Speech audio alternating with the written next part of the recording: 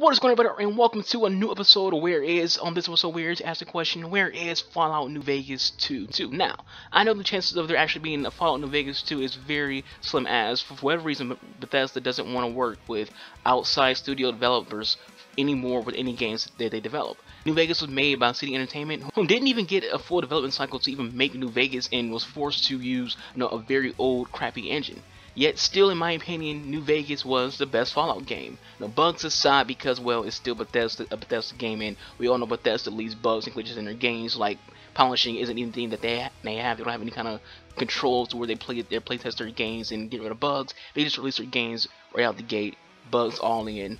But anyways, you know, what made New Vegas so good? Now, this is a game that Obsidian spent just one year making, yet it had more story than both Fallout 3 and Fallout 4. It has more depth, better RPG elements, better choices, better factions, and making joining a faction actually have an impact. The second you decide to rock a faction armor set, you know, things change for you. You go into a, a Legion area wearing NCR gear, things, you're going to get shot at. You go into, you know, a Great Khans area wearing certain faction gear. Factions matter in New Vegas. Now, the world, though is in a desert, is still lively and beautiful. Every single NPC has life in their own lines and personality, and not just lifeless beings wandering around saying the exact same lines as each other. Know, each merchant is unique to themselves. Yet again, this is a game that took only 18 months to make. Imagine if it had 3 or 4 years production.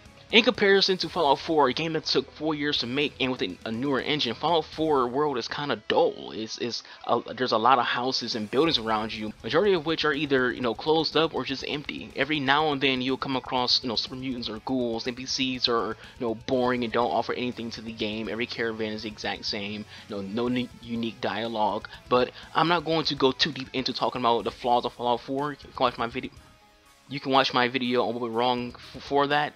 Um, New Vegas is just an all-around good game. Yes, it has flaws. All games have flaws.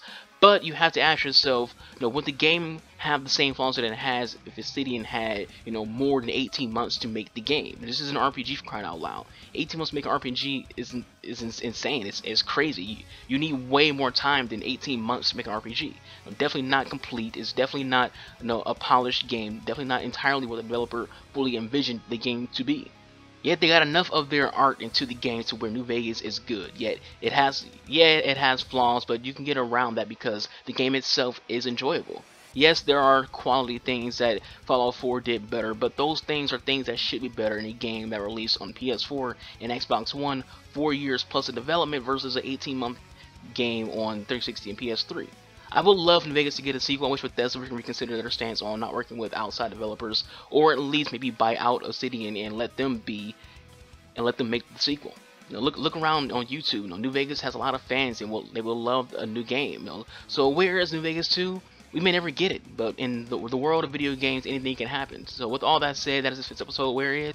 I've been Texter Archangel, the real uncertain talent of YouTube. Thank you all for watching. I Hope you guys enjoyed this video. Leave any thoughts you have in the comments below, and remember, be kind to one another. I'll catch you guys next time. Peace out.